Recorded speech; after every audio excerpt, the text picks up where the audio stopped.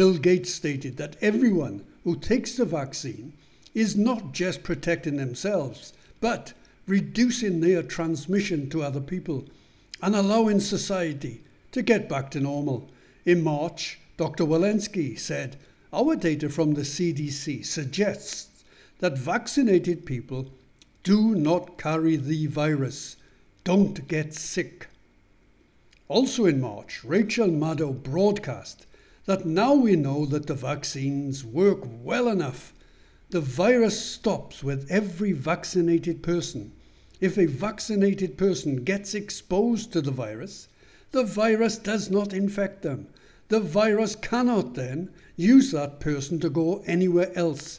It cannot use a vaccinated person as a host to get more people.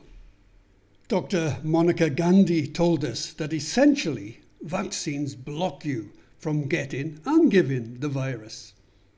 President Biden assured us that fully vaccinated people are at a very, very low risk of getting COVID 19. Therefore, if you have been fully vaccinated, you no longer need to wear a mask.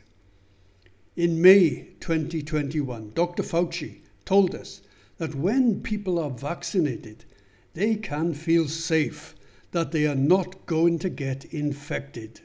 In June, he said, We have all the vaccines we need. We just need people to take it. You want to be a dead end to the virus.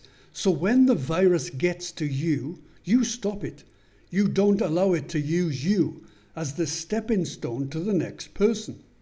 The very next day, he gave further comfort, saying, I think, given the country as a whole, the fact that we have now about 50% of adults fully vaccinated and about 62% of adults having received at least one dose, as a nation, I feel fairly certain you're not going to see the kind of surges we've seen in the past.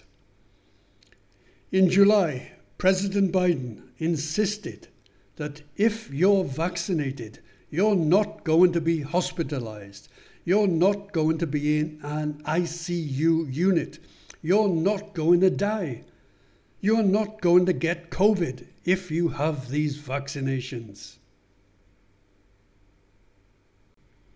And in December, President Biden focused on the unvaccinated, as did practically every other puppet politician. He stated that we are looking at a winter of severe illness and deaths for the unvaccinated. For themselves, their families, and the hospitals, they'll soon overwhelm. But there's good news. If you're vaccinated and you have your booster shot, you're protected from severe illness and deaths.